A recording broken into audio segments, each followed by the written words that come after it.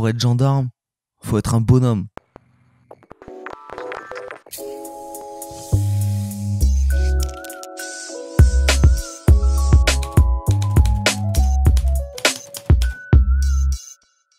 Juste une petite anecdote euh, au niveau des lois et compagnie. Le port de la moustache était obligatoire dans la gendarmerie jusqu'en 1933. Voilà, c'est tout. Pour moi, c'est un truc de ouf. à demain les gens. Peace.